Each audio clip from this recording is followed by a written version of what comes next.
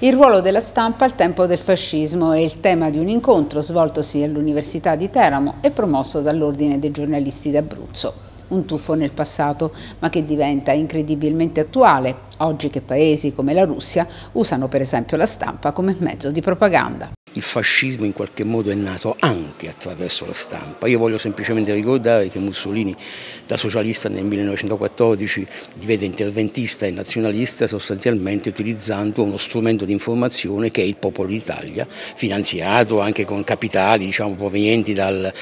certi settori del, del capitalismo italiano o anche per esempio francese, ma sostanzialmente utilizzando il quotidiano, il Popolo d'Italia come grande strumento politico. E voglio ricordare che una delle prime iniziative che il fascismo compì in maniera violenta contro la stampa, paradossalmente, eh, è proprio l'assalto nel 1919 all'Avanti, eh, appena neanche un mese dopo la nascita dei fasci di combattimento, nell'aprile del 1919, a sottolineare come la stampa sia, stato, sia una, un, dire, uno dei gangli vitali diciamo, del processo democratico o antidemocratico in generale, nel nostro paese in particolare. Ecco, nel nostro paese possiamo dire che c'è una stampa libera?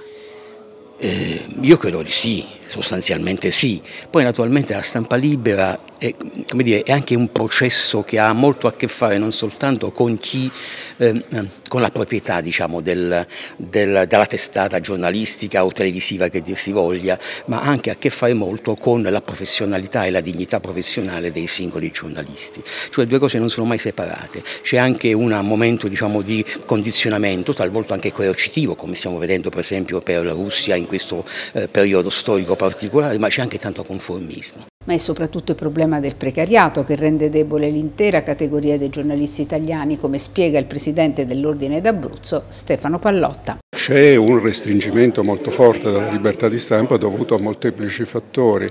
Uno di questi è il precariato. La precarizzazione della nostra professione comporta molto spesso eh, una limitazione della libertà di stampa e a questo si aggiunga per esempio tutto il discorso sulle querele temerarie che, sono, eh, che ricadono sui colleghi precari in maniera molto forti, cause civilistiche con richieste di risarcimento in denaro astronomiche